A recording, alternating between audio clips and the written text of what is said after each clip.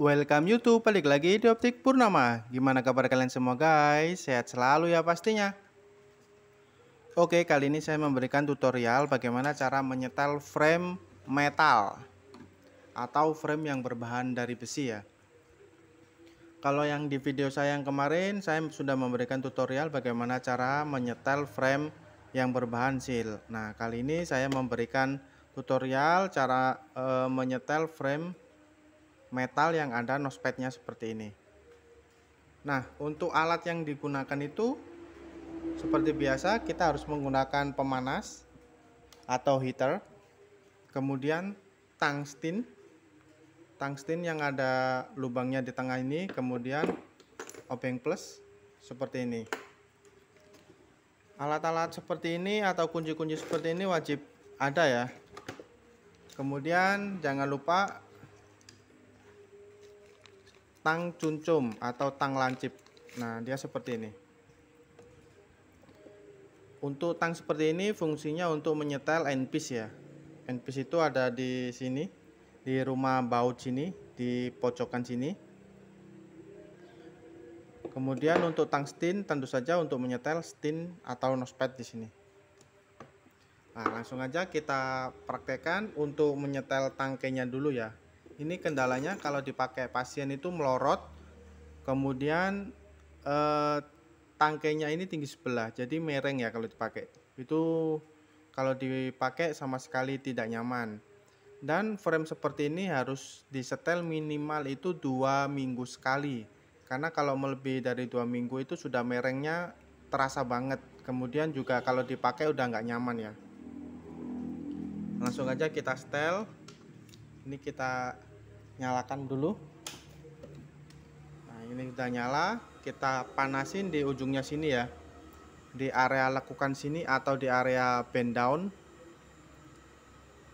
Ini untuk mesin pemanas seperti ini sangat panas sekali.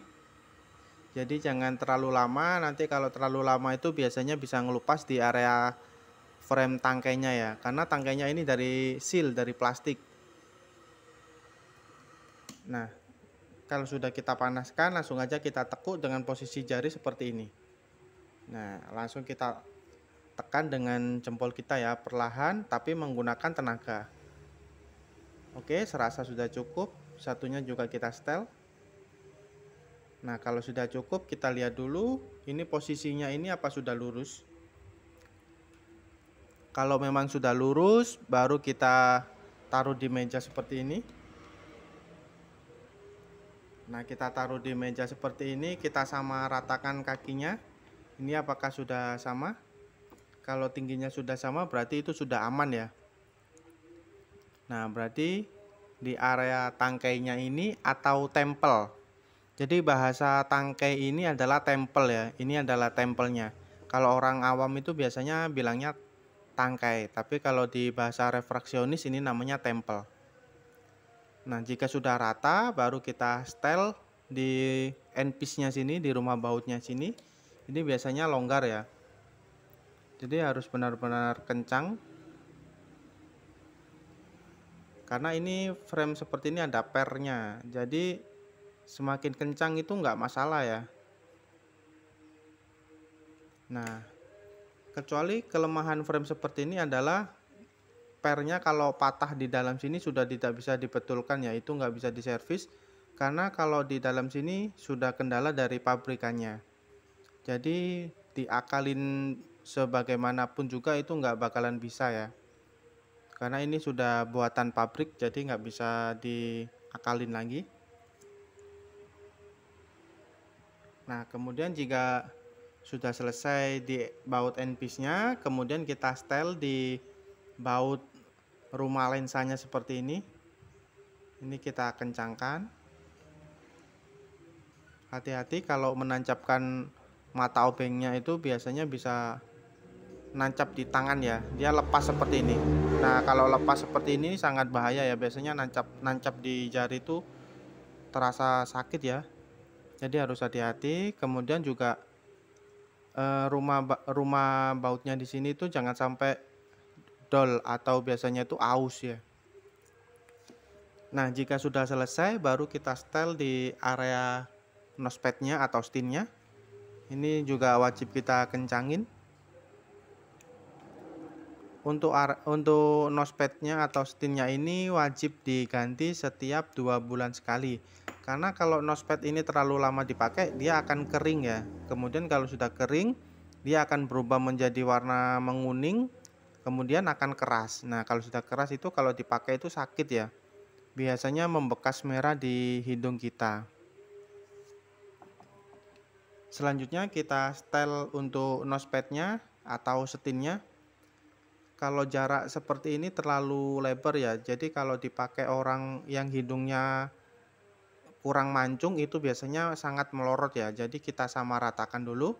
Dengan posisi frame harus lurus seperti ini kemudian jarak kanan sama kiri itu harus sama jadi kita masukkan tang yang ada lubangnya ini nah ini kan ada lubangnya nih nah yang ada lubangnya ini kita tancapkan di rumah setin nah seperti ini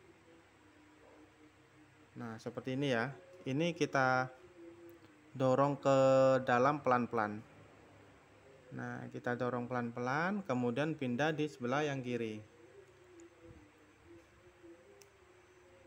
Nah, kita dorong pelan-pelan. Nah, seperti ini. Kita lihat dulu apakah sudah rata. Kalau memang belum rata, kita masukkan lagi. Ini sepertinya sebelah kanan kurang masuk ya. Kita tambahkan lagi ini harus pelan-pelan juga nah ini sudah sudah rata ya kemudian kita lihat untuk lurusnya frame ini. Nah ini tempelnya ini harus lurus ya. Kalau belum lurus kita tekuk di bagian braidnya sini ya, atau jembatan hidungnya di sini ya. Ini kita tekuk pelan-pelan. Nah seperti ini caranya. Jangan terlalu keras karena nanti kalau terlalu keras itu bisa patah ya di sini. Jadi pelan-pelan saja kayak gini soalnya kalau di bagian sini nggak bisa di setel dengan mesin pemanas kecuali frame seal. Nah seperti ini ya. Nah ini sudah lurus baru kita taruh di meja. Nah dia sudah sejajar ya. Jadi kalau dipakai itu pasti nyaman. Oke sangat mudah sekali ya bisa dipraktekkan nanti di rumah masing-masing. Jangan lupa kalau sudah selesai di servis baru kita cuci ya